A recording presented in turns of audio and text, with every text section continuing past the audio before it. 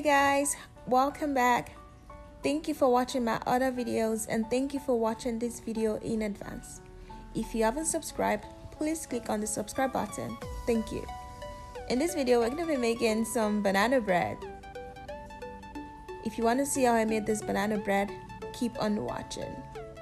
For the ingredient, we're going to be using some overripe bananas, all-purpose flour, brown sugar, butter, eggs, baking soda, salt, and nutmeg.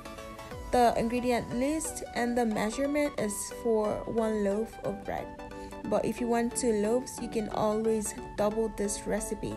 In this video, I'm actually going to be making some um, banana breads. I'm going to be making two loaves of banana bread. So let's dive into the video. The first thing you want to do is mash your bananas. You can use a masher, you can use a wooden stick, and to make sure that it's well mashed, you can always use an electric beater to mash it even more.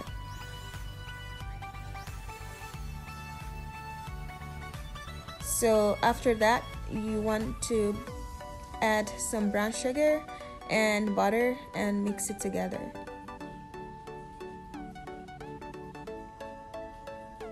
Since I'm making two loaves, I'm gonna be using two cups of butter and I mean one cup of butter and two cups of brown sugar and I'm just mixing it together. Then you wanna beat your eggs and mix it with the electric beater. You can always use a wooden spoon or a manual beater if you don't have electric beater. And you want to mix the banana mixture into the sugar mixture and then you use the electric beater to beat it together. You want to make sure you're doing all this mixing on the lowest um, the, the lowest setting. So you set this set this aside and we're gonna do all the dry ingredients. So I'm using four cups of all-purpose flour and I'm using um, a tablespoon of baking soda half a, half a teaspoon of salt and half a teaspoon of nutmeg and I'm mixing it together so the next thing you want to do is pour all the wet ingredient into the dry ingredient, then mix it together with a with a wooden spoon. So while doing this, you make sure that you already oil your pans. You can use a um, a spray, or you can use butter, or you can use oil. It doesn't really matter what you use. Just make sure that your pans are oil. So this is it, guys. It doesn't have to be mixed all the way. The bananas doesn't have to be fully blended you can have chunks of bananas in there it even makes it better so you want to dump this into the baking pan make sure it's not like to the very top of the of the pan because it's gonna swell up. It's gonna rise. So I'm just using the wooden spoon to smoothen the top so it can look pretty.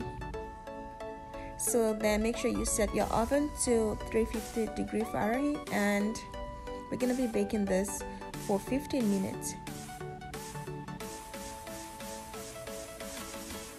You actually bake it for 15 minutes and sometimes you can I mean to make sure that it's cooked or it's fully baked you want to dip your knife into the center of the bread. If it comes out smoothly that means it's done.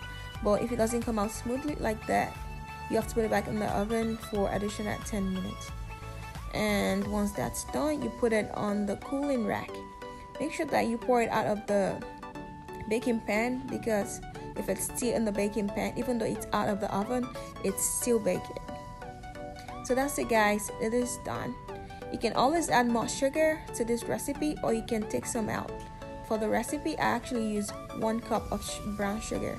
You can always use one and a half cups if you want it to be more sweeter but i think i used a reasonable amount of sugar because this was really really sweet.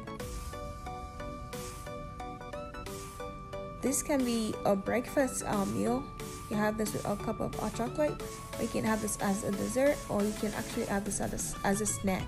Doesn't really matter but that's it guys. So thank you for watching this video. As always i will see you in my next video. Bye